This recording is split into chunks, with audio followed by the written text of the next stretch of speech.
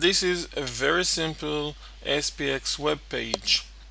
When it loads, then the request.saveas method is invoked and the details of the request that invoked that web page are saved to a file on the computer on which the web application is running.